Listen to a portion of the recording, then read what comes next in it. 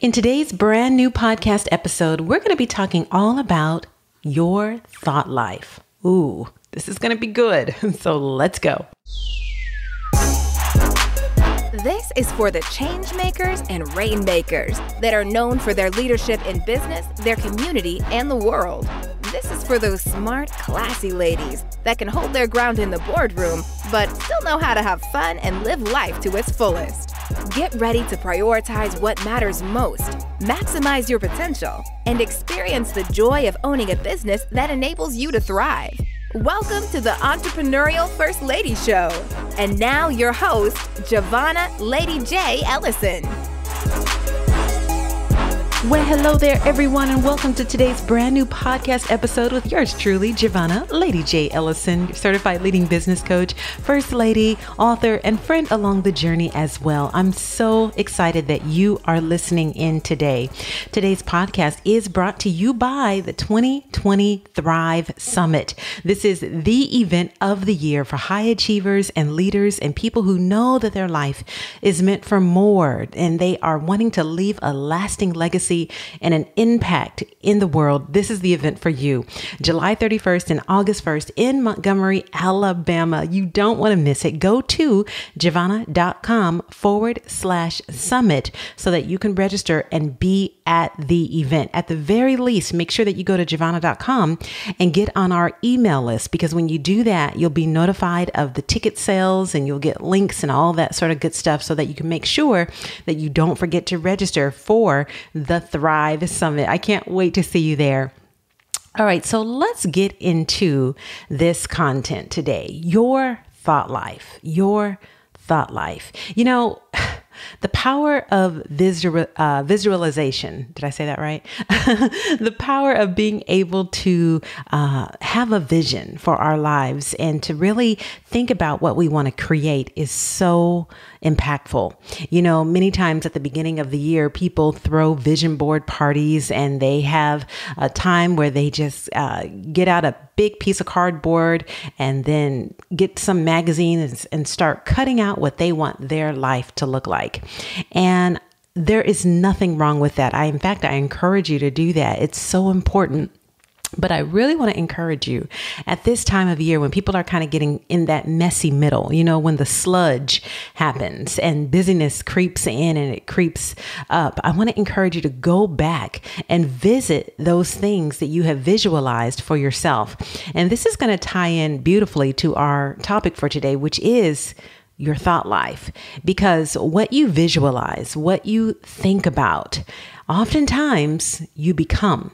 We become what we think about. That's why it's so important that our thought life is clean, that our thought life is pure, that our thought life isn't toxic. And if there are things that you are telling yourself that the enemy would love for you to believe that is a lie, then it's important that you have someone to talk to so that you can process through those thoughts and begin to regulate your thought life. Listen, the power of visualization. So, there's that word again. Uh, a few years ago, you remember when the show Shark Tank came out? So when that show came out, oh, I was just addicted for for a few weeks. I just couldn't get enough. I was just so intrigued of all the different business owners coming to pitch their idea to these group of investors who would either, you know, say yes or say, I'm out. And so I would watch this show. And at the beginning of the show, I saw a man on that show, his name was Kevin Harrington. He was one of the very first sharks on the original Shark Tank show. And I remember, and this is the funny part, it wasn't even on my vision board at the time, but I remember just saying to myself, wow, I would love to meet him one day. And fast forward probably about eight years later, and I got an invitation to meet him at uh, at a country club. Him and Tom Ziglar, actually, who is uh, Zig Ziglar's son, had a chance to meet both of these powerful influencers, and that came from, be, from being in proximity to the right people. Ken Coleman wrote a book called The Proximity Principle. He's one of Dave Ramsey's um, personalities. And it's just amazing because oftentimes it's not always about how much you know, but it's about who you know and being around the right people. And so being around people like Dan Miller and other influential leaders and thought leaders, those things just opened up so many doors. And I had an opportunity to meet someone who I even said in my subconscious, wow, I would love to meet him one day and just sit down and have a conversation. And that was nearly eight years ago. Now, just this year, just this year, just literally a month ago, I was able to see and talk to Kevin Harrington again and we had a conversation about business and uh, exchanged some ideas and it was just so powerful. But it just took me back to the power of thinking about what we want to become about who we want to become. And it's important that if you want to be the best in your industry, if you want to go to the top in whatever field that you are in, it's important that you surround yourself with people who have done it already, with people who have actually succeeded in that level that you would desire to go to.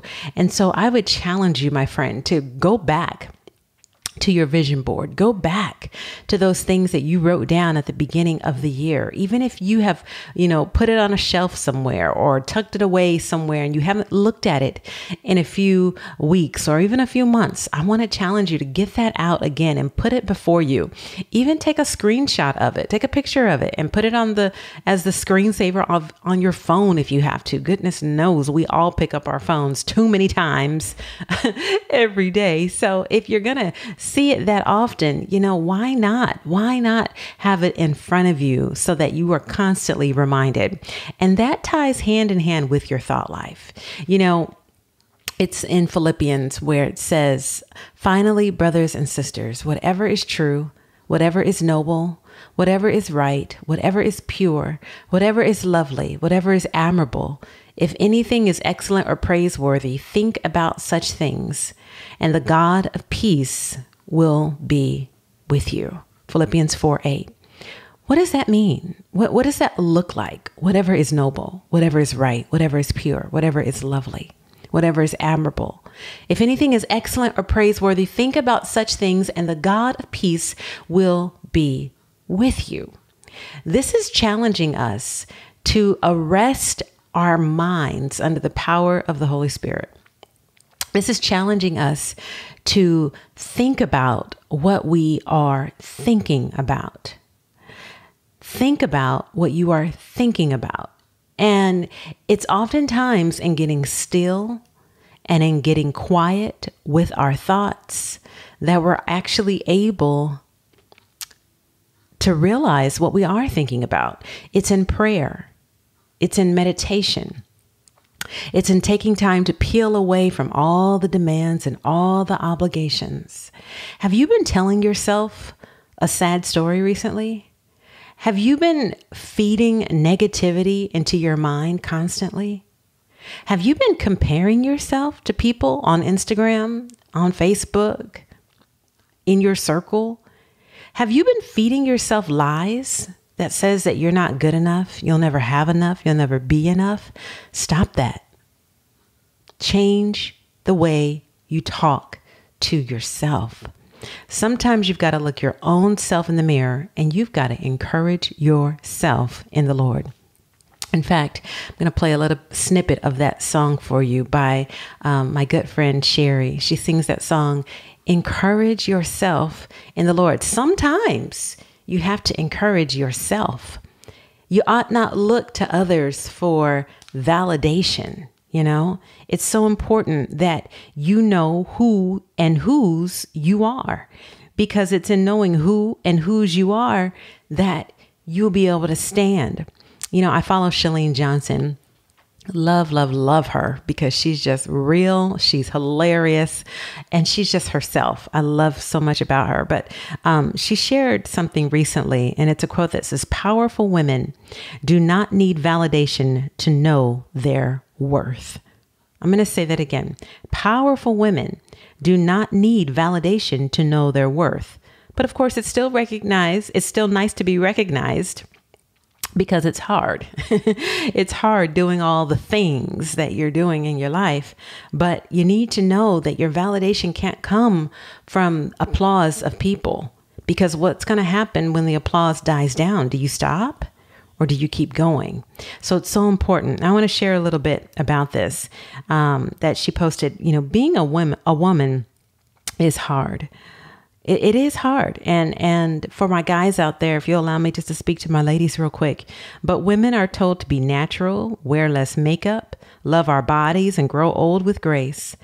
But the message to change our bodies, face tune our wrinkles, plump our imperfections, and stay young or be irrelevant is even louder. That's hard.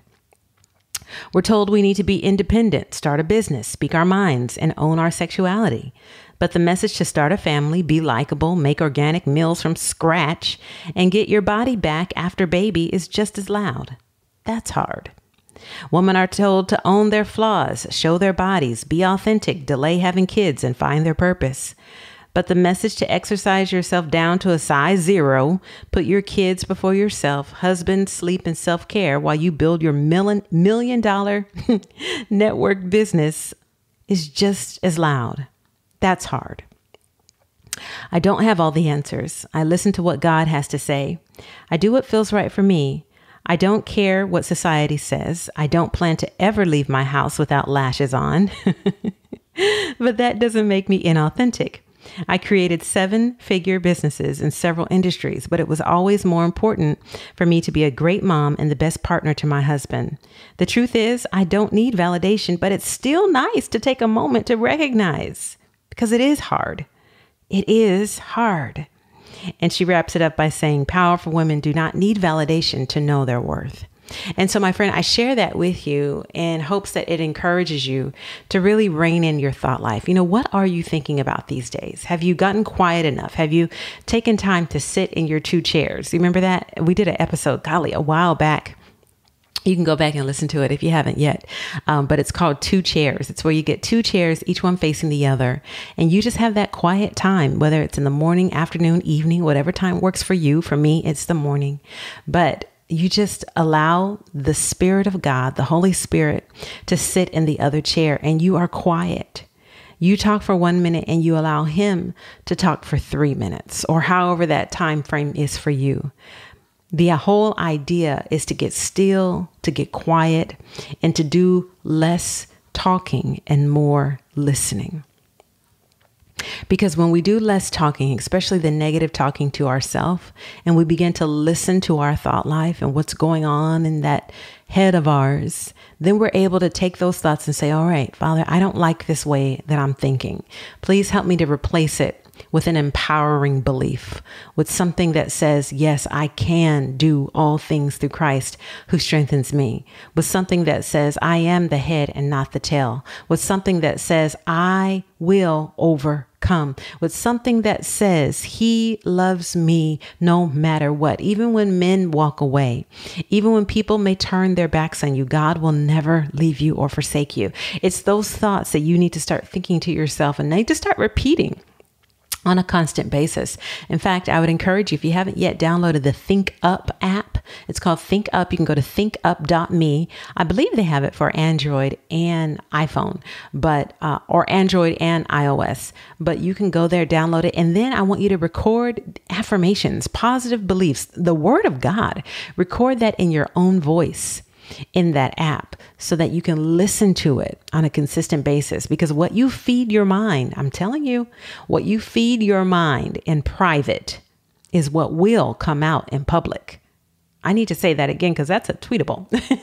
what you feed your mind in private will eventually, one way or another, whether it's through your actions, whether it's through your passive aggressiveness, whether it's through what you say or what you don't say, one way or another, it's going to come out in public. So watch your thought life and make sure that what you're thinking is those thoughts that are noble and true. Now, I'm not saying nobody is perfect. I'm the first one to raise my hands. I've got both hands up over here, okay? no one is perfect. And we are we are attaining to get to this place. And so little by little, we make progress. Little by little, it will add up. So, my friend, I just want to encourage you. I'm going to leave you with this little song that says, Encourage yourself in the Lord, because somebody out there, I don't know who, but somebody listening to the sound of my voice right now, you have been, my goodness, you have been beating yourself up. You have been saying words to yourself. You have not forgiven yourself for things that maybe have happened years ago. And you are allowing your self talk to limit and to uh, stifle your momentum forward. I want to encourage you, if you need to, you know, see a counselor, see somebody who you can help talk through these things with. Coaching is for people who are ready to move forward. It's about moving forward. We acknowledge the past and we thank it for the lessons that it taught us, but now we are moving forward. We're not looking back. But if you're listening to the sound of my voice and you are still going through trauma, you're still dealing with some sort of mental um, anguish, don't beat yourself up. Don't don't don't cover it up. Don't think that you have to be light years ahead. Don't pretend anymore.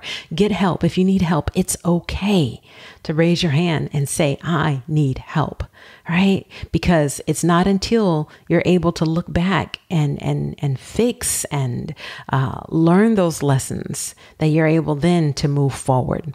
So I just want to encourage you this morning, or as I'm doing this podcast, or whenever you're listening to this, I want to encourage you to encourage yourself in the Lord and make sure that your thought life is pleasing to Him, so that you can get the results that you need. There are a few books that I want to recommend to you. The first is How to Win Friends and influence people. That's a classic.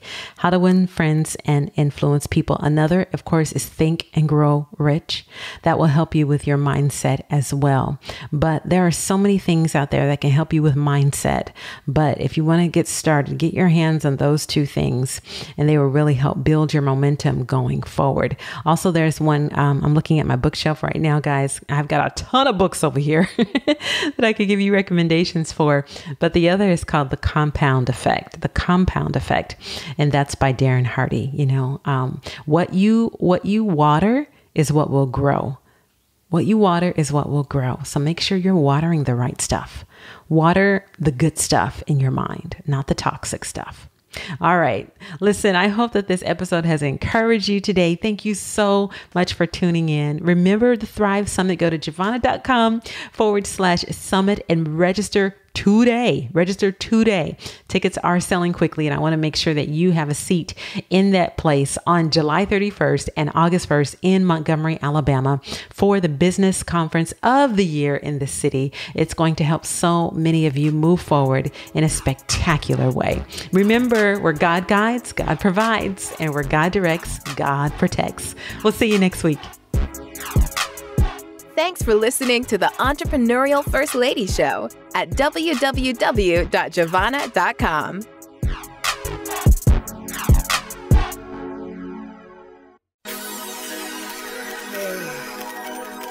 One, two, one, two. Ah, ah, here we go. It's my time to rise. It's my time to shine. It's your time. Are you a coach, entrepreneur, or leader? Are you someone who wants to keep God first in your business? Well, then, it's your time to shine. Join the exclusive mastermind of world class leaders inside Thrive, led by Jevonnah Lady J. Ellison. Get ready to clarify your purpose, amplify your strengths, and thrive financially from what you already know. Sign up today at Jevonnah.com. That's J E V O N N A H.com.